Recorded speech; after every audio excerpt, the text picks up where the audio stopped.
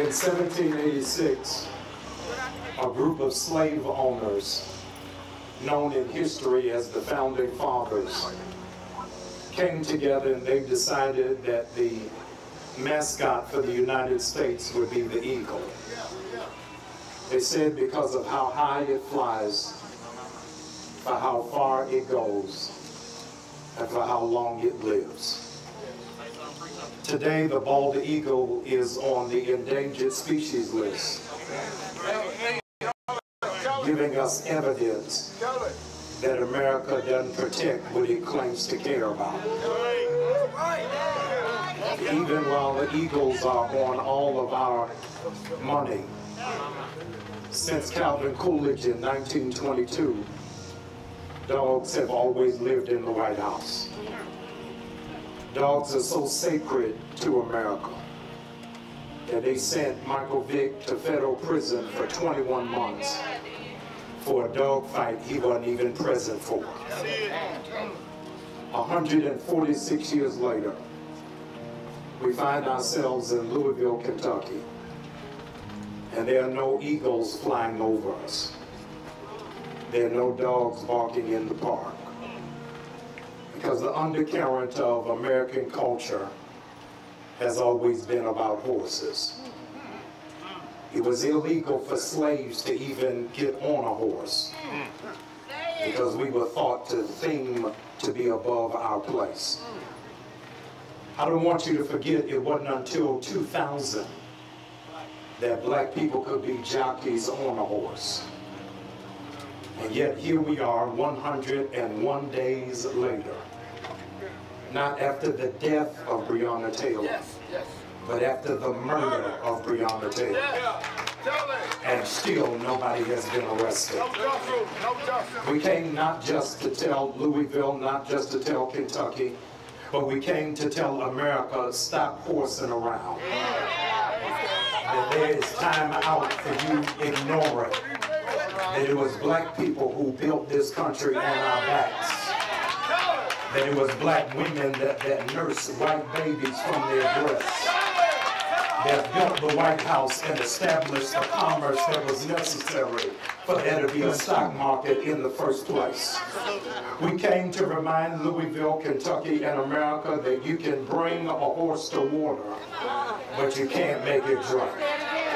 And so for 100 days, we have demonstrated to you peaceably as to what it is that democracy is supposed to look like.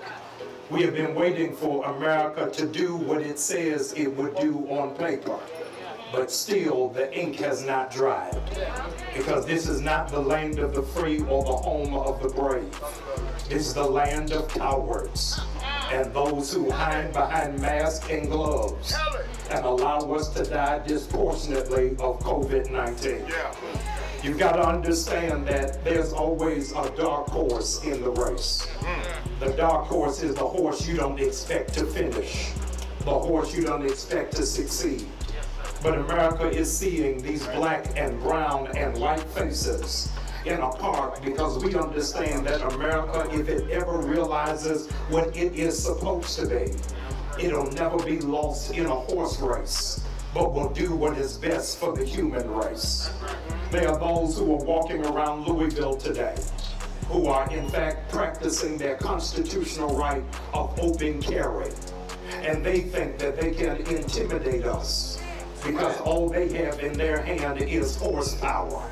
But we are here in this park because we've got God's power. And we understand that the race isn't given to the swift or to the strong, but to those that endure to the end.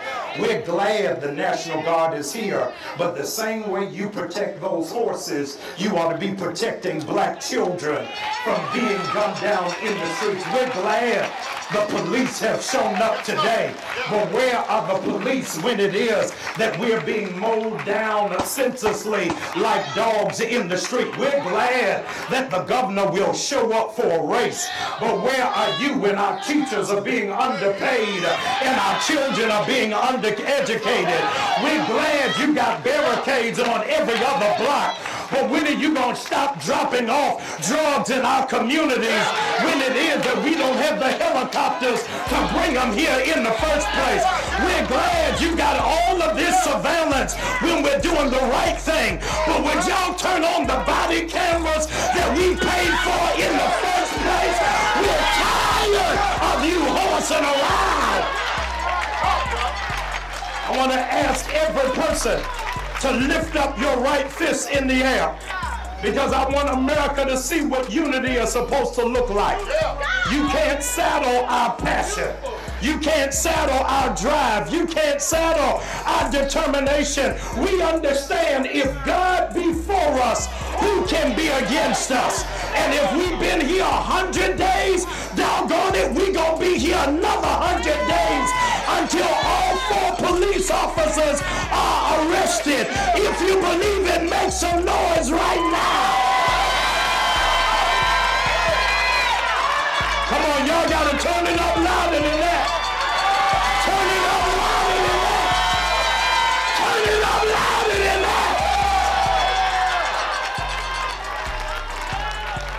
To stay the course. We have to stay in vision and stay in purpose. Every horse that will race today will only have a chance if it keeps its blinders on. And to keep its blinders on is to understand that I've got to see what the finish line is. The finish line is not the four officers getting arrested, but the system being dismantled. Come on, I can't hear anybody. The long range approach is understanding that our community should not be afraid of the police. And the police shouldn't be afraid of the community. Hear this if they actually lived in the community. There's got to be a standard that I'm sick of the Klan no longer wearing white robes but blue uniforms. We got to shift all of that. Jesus said, Behold, I stand at the door and knock. So if Jesus knocks on the door, what makes Louisville police think they can go through the door without ever knocking? We got to change the standard. Standard is understanding the prophetic witness of Isaiah, who was never an American citizen, but understood that they that wait upon the Lord shall renew their strength. They shall mount up on wings as eagles. And Louisville, here's where we come in. Run and not get weary. Walk and not faint. I love you, Louisville. Let's keep marching until those four officers are arrested and the attorney general is put out of office. I'm not a doctor. I'm a pop star. Let's keep rocking. Hello, my name is Tanny Speaks, and I'm from Newark, Delaware.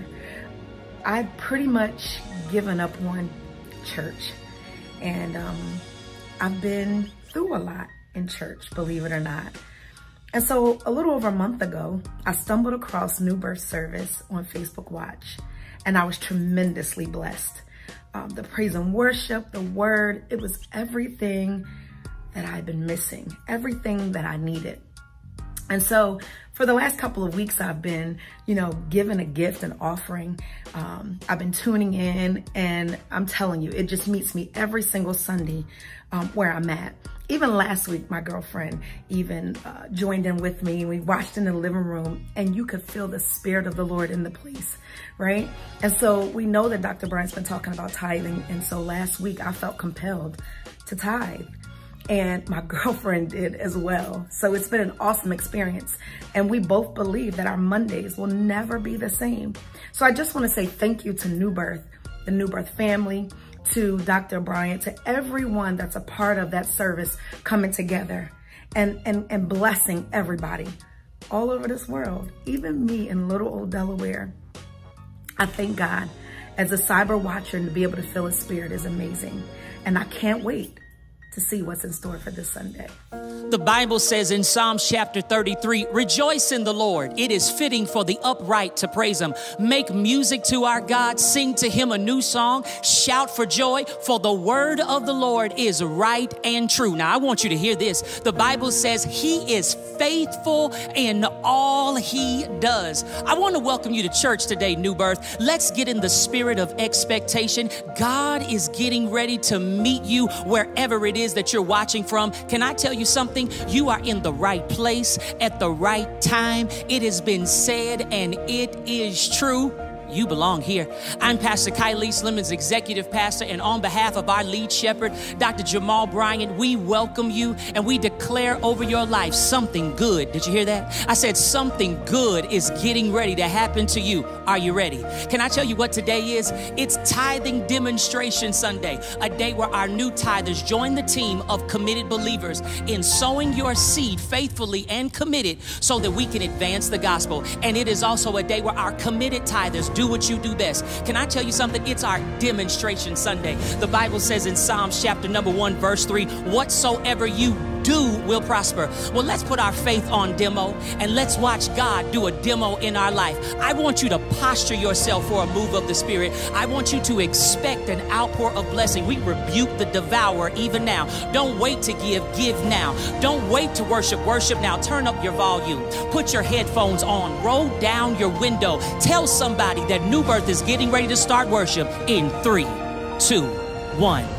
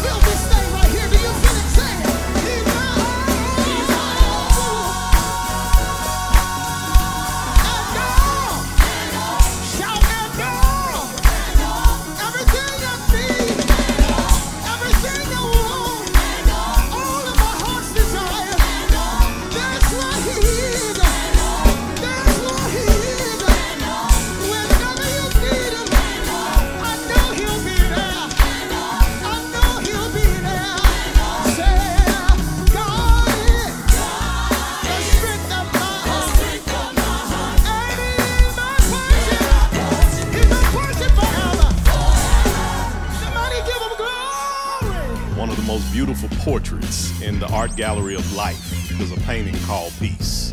When you can frame peace where not only can you view it, but other people can share it, you're ultimately allowing people's lives to be made better. As your pastor of internet and innovation, this is the moment where we can't hug, we can't love, we can't shake, but we can share. So if you pass peace, how you do that? If you could share through your platform, if you can start a watch party, if you can spread a kind word, you can share the link, whatever you do, help us pass the peace. This is that moment. Frame peace for everybody you're connected to. We love you. Let's go back into the main sanctuary. Continue to pass the peace. Purify our hearts, Lord. Purify our hearts, Lord. Sanctify my heart, Lord. Sanctify my heart, Lord. Oh, Lord,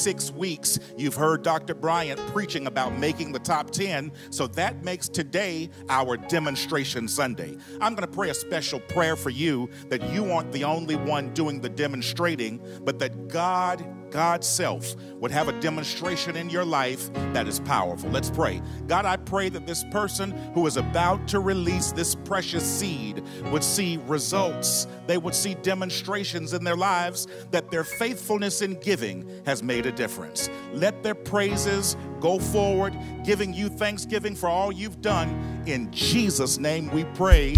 Amen. Father, you alone deserve our worship. You deserve our praise. And we lift your name today. We lift the name Yahweh. As I breathe in, as I inhale and exhale, we breathe your name. We say your name. Translated to I am that I am. Somebody ought to type on the screen today, Yahweh. Yahweh God, show up for every person that's watching us today.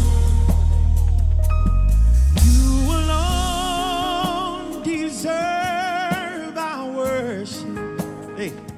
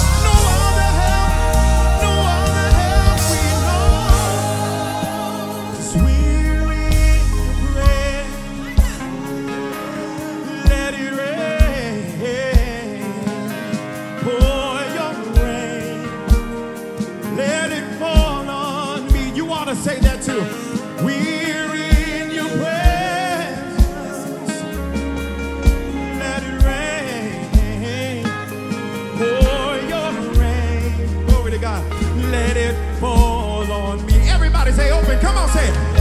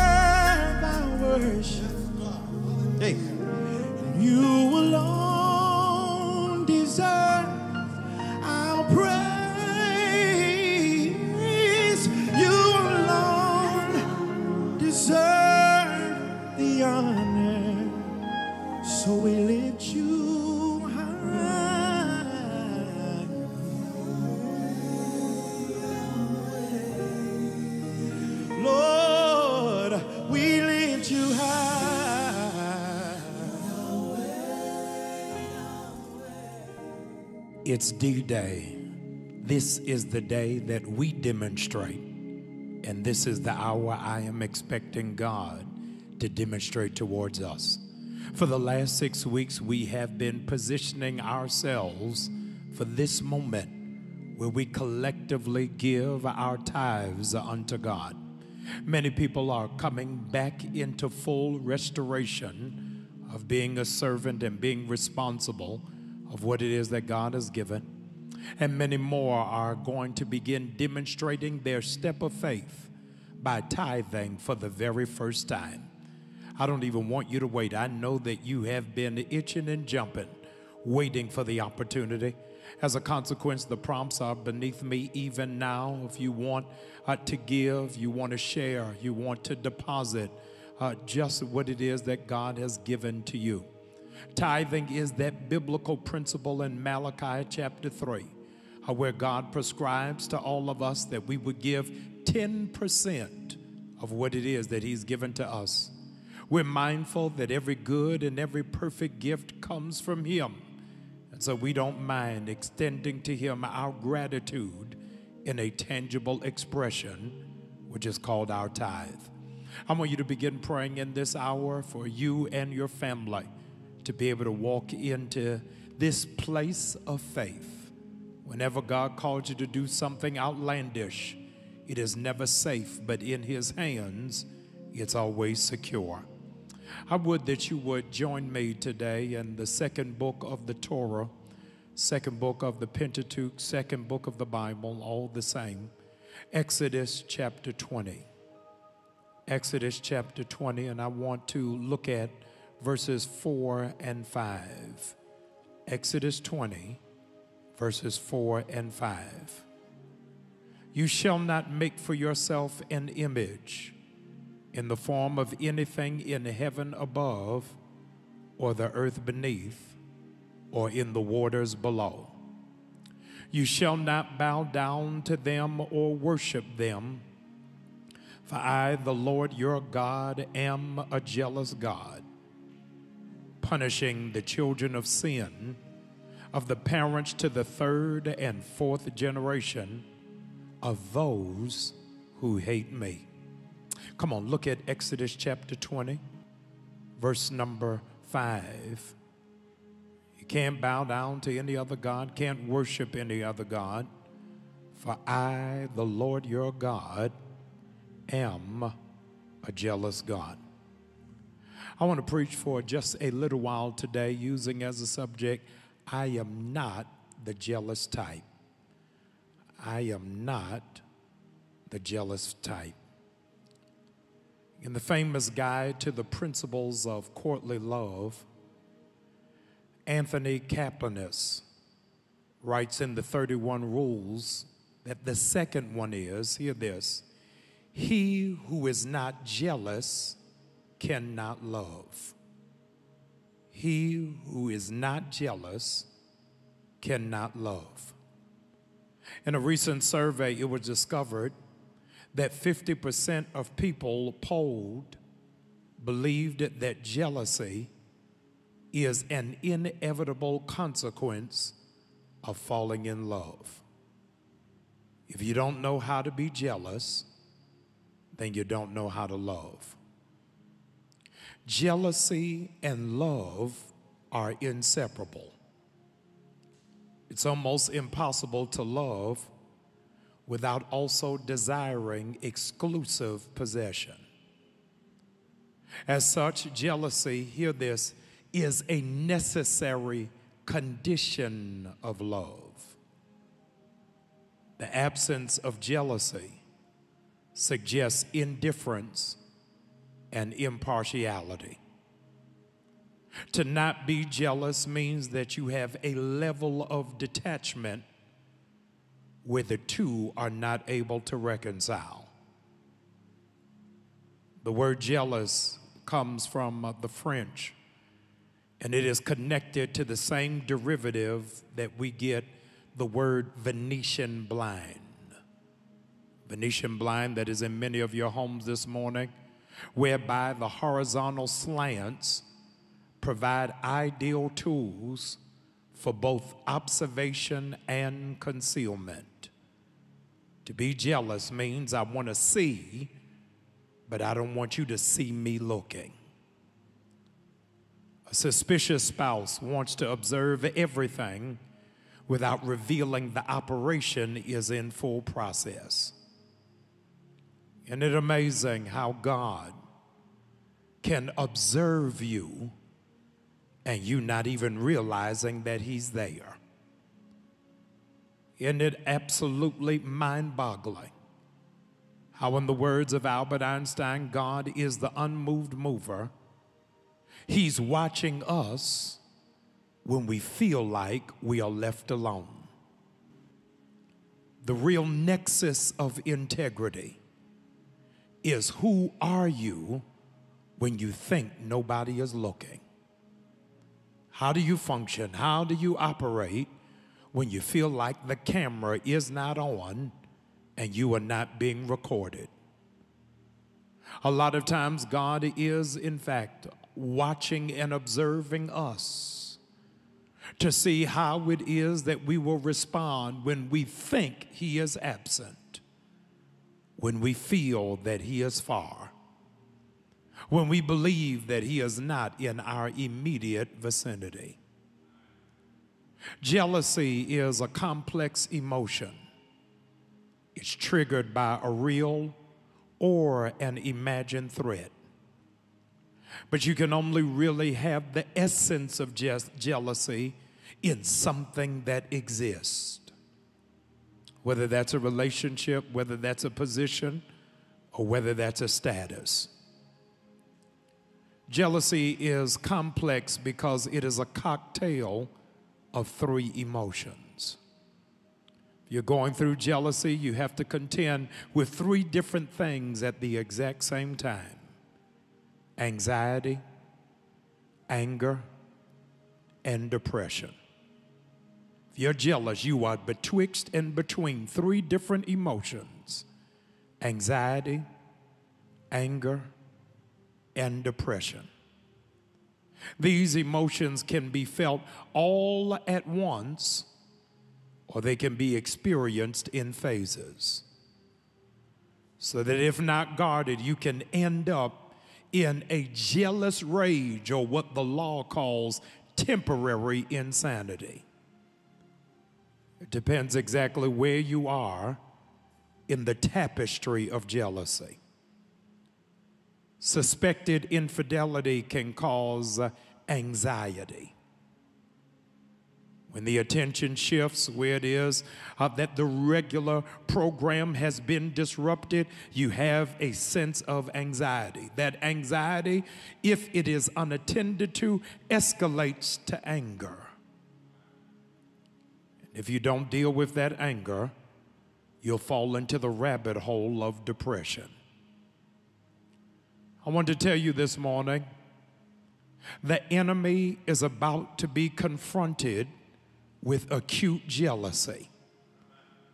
The enemy is jealous because he has anxiety, because he's starting to be suspicious about your feelings towards God just shifted.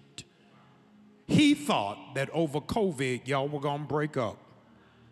He thought during the quarantine that you would feel further away from him. He had no idea that in the middle of a global pandemic, while you couldn't be in church for 22 weeks, you would still give God glory in your living room.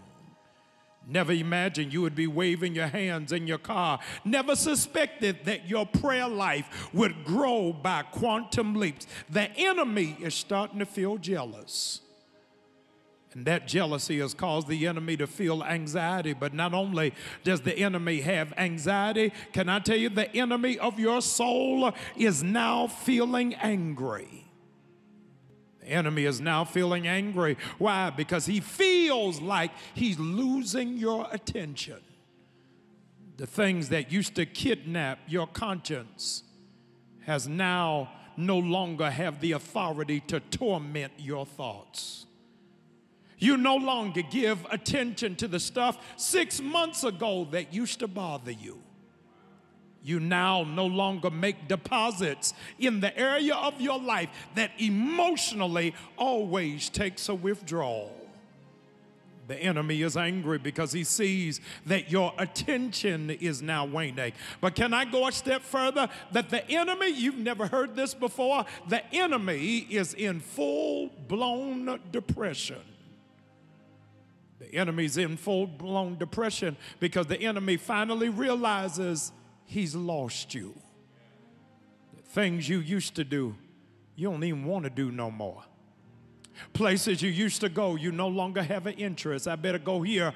People who you thought you couldn't live without, you gave yourself CPR. You're able to breathe easier, knowing that I have the freedom to no longer be oppressed by somebody else's opinion. A person who's wrestling with jealousy ruminates through the whole gamut of emotions connected to the particulars of their situation. And immediately when they are jealous, may go personalize it. When you are jealous, you immediately begin to come up with a plan as to how to disrupt it. The enemy's been trying to come up with ways to separate you from God. The enemy has been throwing stuff at you to disrupt your consecration. The enemy thought that he could, in fact, deposit bills that you didn't even see coming. The ploy wavers uh, between uh, sometimes the showering of gifts, or sometimes is connected to the association of surveillance, confrontation, and ultimatums. Of all the emotions, jealousy is the one that is connected to outward distress. I'm telling you, if you're jealous one way or another, it's going to come out. You can try to be as cool, calm, collected as you think you want to be, but there'll come what Malcolm Gladwell calls the tipping point, where you can no longer keep it together, where you got to do another route for an emergency exit. If love was 100% effective, then there'd be no reason for insecurity. I think I lost you. If love was 100% effective, you've had no reason for insecurity. We could rest in the assurance that our mate, our spouse, our significant other, that they loved us, that they have proven trustworthy, but somehow or another in your adult life, you found out that love alone is not enough. Love doesn't necessarily cement trust. So jealousy becomes the safeguard against love's imperfection. David Buss views jealousy as an essential element of human nature. Jealousy, according to this perspective, is not a sign of immaturity. It is the sign of a sense of self. It drives us to redefine the lines of commitment and to highlight our passion towards the person so that there is no room for wavering. Love, I want you to write this down, demands exclusivity. Love demands exclusivity. In the casual sex society that we live in, you have to understand that there are so many people who have to make love because they don't know how to produce it. You know what genuine love is. You don't have to keep trying to make it every Saturday. I don't want you to fall in love. I want you to walk into it. To fall in love means it was an accident or a mistake. When I walk into it, I realize what my intention is. Jesus didn't fall on the cross. He didn't fall up Golgotha's hill. He walked up the hill because he knew what love was supposed to look like. There is no relationship without an agreement. And the agreement can't be assumed, it must be discussed. In Exodus chapter 20, God begins speaking to the children of Israel because he is tired of them being unfaithful, tired of them not committing, tired of them uh, playing with his emotions. I told you, I want you to look at Exodus chapter 20. Look at verse number three. I don't want you to take my word for it. Look at verse number three. Exodus 20, verse number three. Love requires exclusivity. Look at what verse number three says. You shall have no other gods before me. I want you to know that God is jealous and you're not going to believe it. Many of you are not burning incense to some um, some Asian god, some Buddhist temple. God is jealous, hear this, because you forgot, seek ye first the kingdom of God and his righteousness and all other things. Hear me and hear me well. The God you have been serving sometimes is your children. The God that you put in front of him sometimes is your career. Sometimes it's your shape. Sometimes it is your finances. What are you putting in front of God? And God is saying, I am jealous because you pay more attention to that, to them, than to me. Love requires exclusivity. Verse number four, hear this. It says, You shall make no other idols or form of anything. Many of you are messing up because you keep making a God out of something that is just plaster. In Genesis, you remember in the creation story that God made a man and then stepped back and said, That's good. Many of you are ticking God off. You are on his last good nerve because you keep trying to make a man. You keep trying to make a woman. You keep trying to make something work that he never ordained. He said, How were you trying to make something to worship when I'm present in your midst? Something uh, harrowing happens uh, in verse number five. He says, Don't bow down to any other gods. Don't bow down to any other gods. It, it reminds me of, uh, of this despotic, narcissistic, sociopathic president who used to build large images to himself, put his name on it, and made everybody bow down. I know immediately you thought I was talking about Trump. I'm not. I'm, I'm talking about Nebuchadnezzar, who built a gold god. And when he built that gold god, he played music and expected everybody to bow down, uh, except three people refused to comply.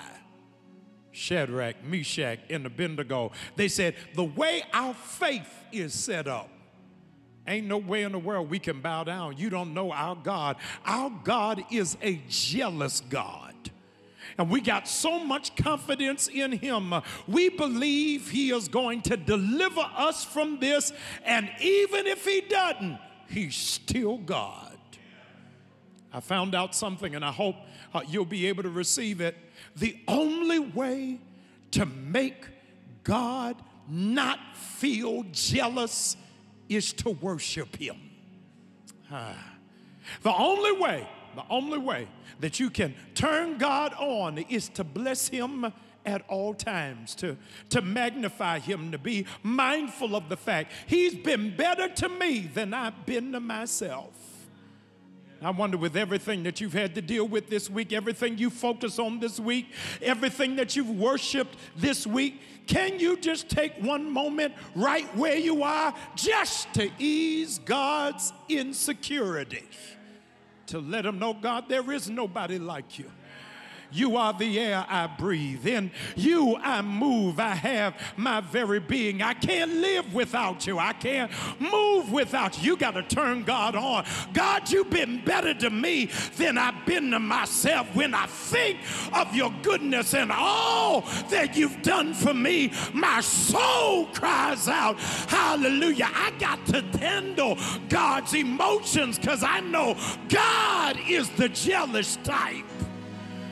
I can tell you really don't have a relationship with God uh, because you don't know how to turn Him on. I wish there were just 5,000 of you right where you are, knowing that you are connected to a jealous lover. And a lot of people don't understand your relationship, but every now and again, you just got to stroke his ego. Every, every now and again, you got to hold his hand. It ain't really for you, it's for him so that he know I ain't going nowhere. It, it don't matter what life throws at me. I am going to be right here like a tree that is planted. The only way you can stop God from feeling jealous is to worship him. I want to say this to you, and only a small group of you are going to be able to receive it. If you are not the jealous type, you can't be called a Christian. You just missed what I just said. I said, if you are not the jealous type, you are not an authentic worshiper. Every now and again, you ought to see how God is blessing other people how he's making ways for other people, opening doors for other people. And you got to get in God's face and say, I know you ain't going to forget about me. I, after how I served you when I wasn't getting paid, how I blessed you when my money was tight, when I didn't know how I was going to survive, but I never spoke against your name. God, you got to do something for me. The devil is envious but God is jealous. Did you hear what I just said? The devil is envious, but God is jealous. Envy is what somebody else has, while jealousy is the fear of losing what you have. Hallelujah. I, I want to know, I want you to know in this moment, God told me to tell you, He's jealous of how you take care of your beautician. He's jealous of your online shopping record. He's jealous how you are dutiful about your nail appointment. He's jealous how you take care of your car as soon as a light comes on. He's jealous how it is that you always treat yourself. He, he wants to know when are you going to treat me the way that you treat cars and hair and nails. I'm a jealous God. I need you to bring your tithe into the storehouse. The reason why it is that I tithe is I got to stop my lover from tripping. I got, I got to stop him from cutting holes in my pockets. I got to stop him from giving me the silent treatment. I got to stop him from shutting doors that I was supposed to walk through. I got to stop him from not extending himself when I've got an urgent petition. And he says, If you want to stop me from being jealous, Stop making me feel threatened by the stuff that you put in front of me. Every time you bring your tithe, can you hear this? It helps God breathe easier. Every time you bring your seed, it helps him to rest to know me and him are still together. Me and her are still tight like that. Every time I bring my tithe, it makes um, Satan envious but it gives God pause that I know where my bread is buttered. I want those of you who've been walking with me over these last six weeks, I need you to stop the Heavenly Father from being jealous. I want you to get your tithe in your possession by getting your phone in your hand.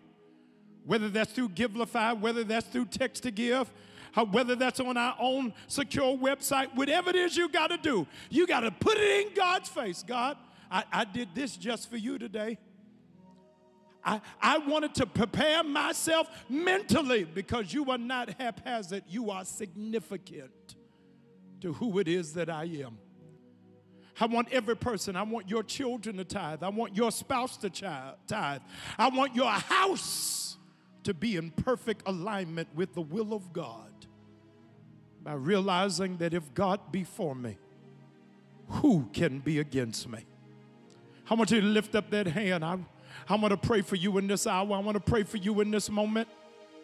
I want to pray for you in this season that God will keep you in perfect peace. Come on, lift up that hand. We always like the grace of God, but nobody ever preaches about the wrath of God. Sinners in the hands of an angry God. Today we are signing a peace accord with the Heavenly Father. We're coming into alignment with Him.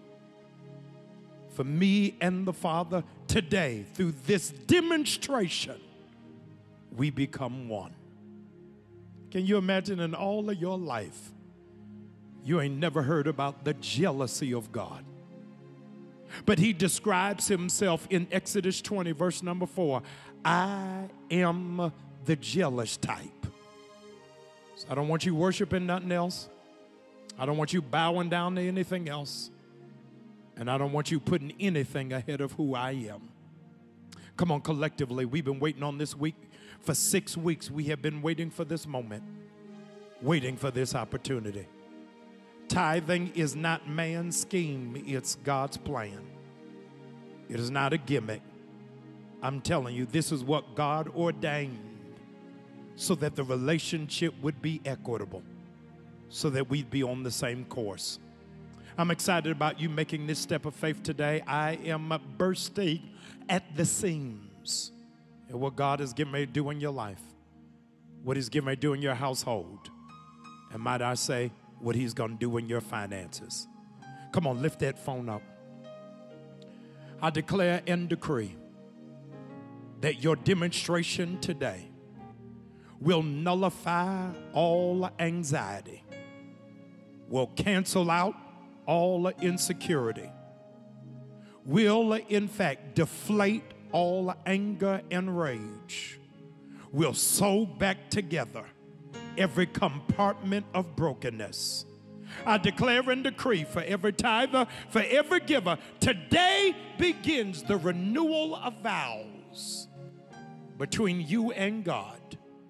You all are going to be happier together than you have been in years, talking more in each other's presence, basking in the glory, and grateful that He didn't have to let us live, but He did. All the tithers, you ought to be giving God praise and thanksgiving for it. You ought to be praising Him for it. Can I tell you that the best offering that you can give is of yourself?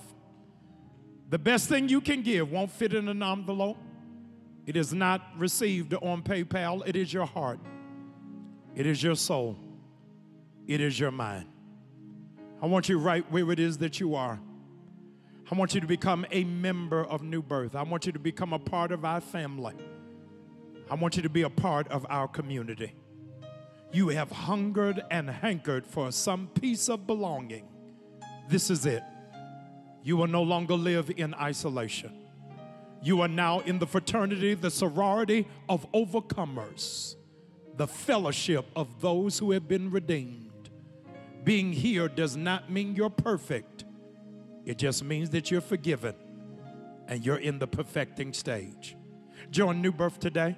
Give your life over to Christ today. Start the best season of your life if the last 22, 23 weeks didn't do you in, you are stronger than you realize.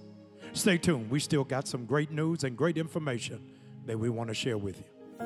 Praise God for His word. Praise God for the opportunity to receive from God today. The Bible says it's more blessed for us to give than to receive. So if you've never given your whole heart to Jesus Christ, today is the best day to do it. You can simply pray this prayer Lord, I know I'm a sinner, and I thank you that Jesus came and He gave His life so that I could be saved. Forgive me for all of my sins. I commit my life to you today. When you pray that prayer, God brings you into his kingdom and he makes you born again. And we'd love for you not only to be a part of the kingdom of God, but also a part of the New Birth family. Feel free to go to the New Birth website, click join so we can stay connected with you. And even if you didn't pray that prayer today for the first time, you're already born again, we welcome you to be a part of our family. Well, today we've had the opportunity to give to God on this demonstration Sunday. We all gave our tithes together. Why don't you consider being a consistent giver, not just a one time thing, but today you can sign up for automatic giving. You look at the prompts on the bottom of the screen, and you can become a consistent giver to the Lord. We invite you to come back Tuesday night, 7:30 p.m., Sunday mornings, 9:30 a.m. Eastern Time. We're right here ready to worship the Lord together. Now may the Lord bless you and keep you. Make his face to shine upon you and be gracious unto you. May the Lord lift up his countenance upon you and give you peace. You deserve the glory and the honor. We lift our hands in worship as we bless your holy name. You deserve the glory and the honor. So we all lift our hands in worship as we bless your holy name. For you are great. You do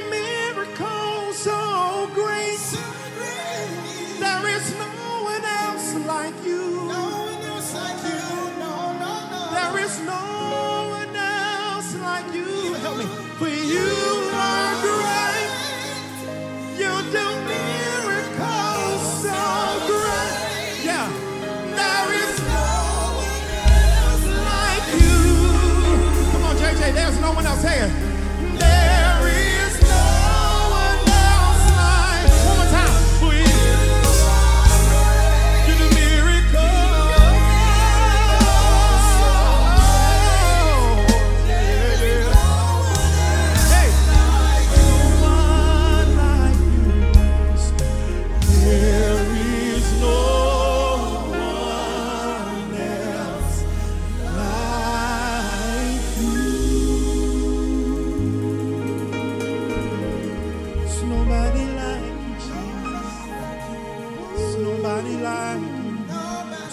Searched all over, couldn't find nobody.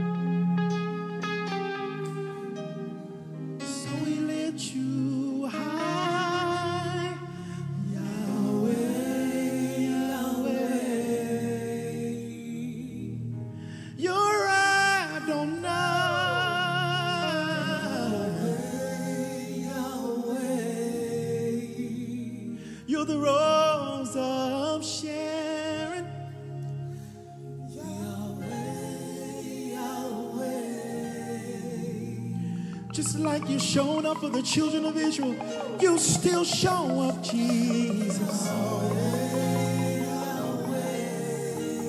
You never let me down. You never let me down.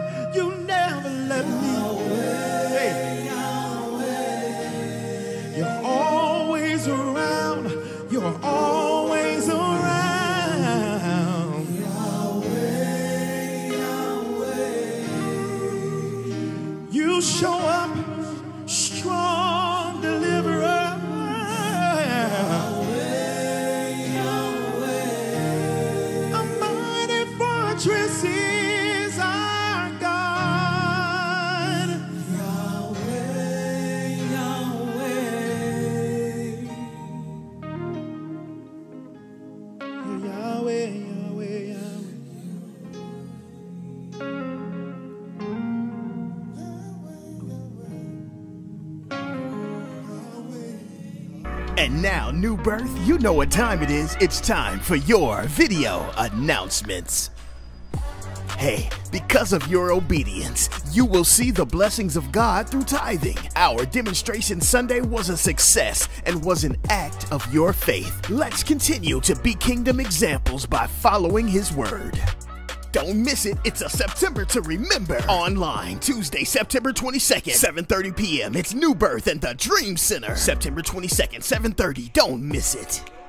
There's always a blessing at the King's Table. Each Saturday, we bless more than 8,000 people with free groceries. If you have a need, please pull up and receive free groceries from 10 a.m. until 2 p.m. at our Bell Family Life Center. Everyone is welcome at the King's Table. And for your convenience, our online Call to Conquer bookstore is your one stop shop for all your ministry needs. That's right, our September book of the month, the New Birth Face Mask, New Birth Apparel, and much more. Log on today, newbirth.org. And that's gonna do it for your video announcements.